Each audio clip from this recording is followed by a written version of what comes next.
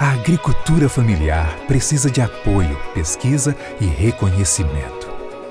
Por isso, todos os dias, os colaboradores do sindicato da Empire se levantam e vão atrás para mudar a história das famílias rurais nos 128 municípios matogrossenses. Porque acreditam que esses agricultores familiares alimentam mais do que o nosso corpo, alimentam sonhos e o desenvolvimento do nosso estado.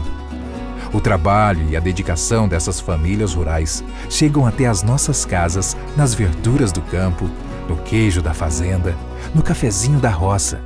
Tudo através das feiras, das mercearias e dos supermercados. Valorize a agricultura familiar e quem luta por ela. Uma campanha do Sindicato dos Empregados da Empaer.